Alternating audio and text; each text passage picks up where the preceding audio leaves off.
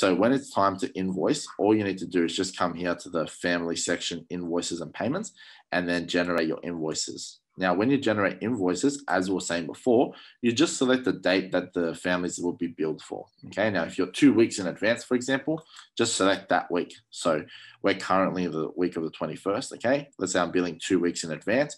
You would bill your families for the 5th. Okay you would then select the 5th to the 11th. Okay. You'll get in the habit of doing Monday to Sunday. It'll just become a thing. Um, for my example now, what I've done is I've selected 14 to 20. Okay. Because I'm billing one week in arrears. And then I've just selected one family when you build your families, you can select all families, right? Or you can go and select um, a combination of individual families, okay?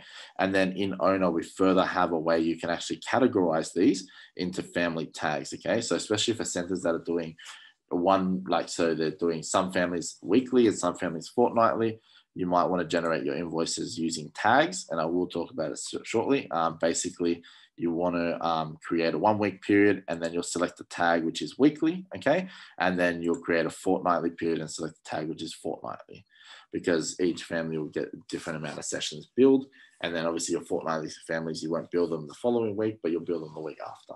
Not bill them sorry you'll invoice them again the week after right? So you'll be invoicing them on a fortnightly basis. 21 to 27 i choose my family which in this case is mass I say that I want it by the end of the week, I don't know, Friday, for example, and then I'll run the report.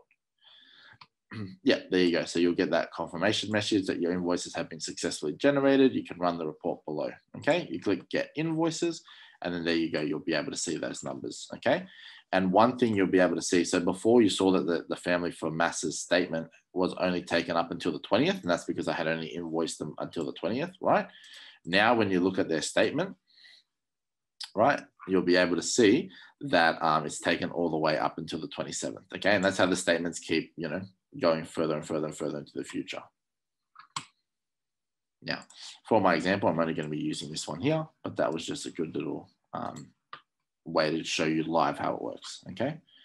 Any, any payments that haven't been made or any balances that's sitting on the account because of payments that you know rejected or the family hasn't paid or there might have been um, a discrepancy where we overestimated or underestimated CCS and the actuals came through and there's a balance sitting on the account.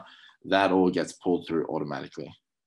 So now I've generated my invoice. Now I want to show you this guy. So um, I've got my family here. I've got the carried over amount and we saw before if I leave that open on the family statement, so you can see, as we are saying before, that this is the opening balance. So 65350 is that credit that wasn't applied. Okay.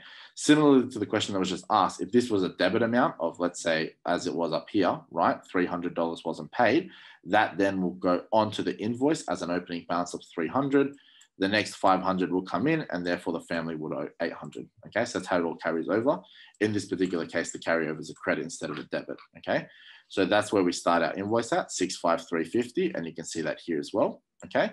And then the amount that's owing is 15150. Okay. So the invoice takes into consideration what's happened um, in that period, in this period that we've selected, 14 to 20. And then it gives us a total of 15150. Okay. So that's what the family will essentially owe us.